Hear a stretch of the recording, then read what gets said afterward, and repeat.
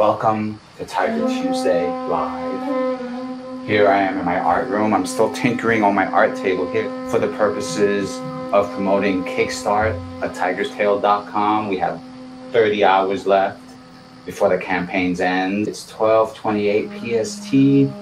What I want to show you down here is something I shared on Instagram earlier. This is a printout of a sketch that I worked on. Cleaned it up enough on Photoshop and then printed it out on some Bristol board so that I could do some painting on it. This is my set of wash watercolors that I occasionally pull out. I've assembled them in one spot for you.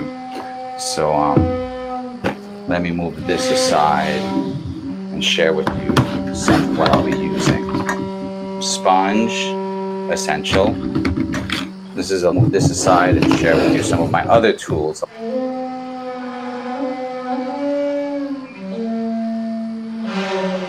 watercolor soluble pencils. Key.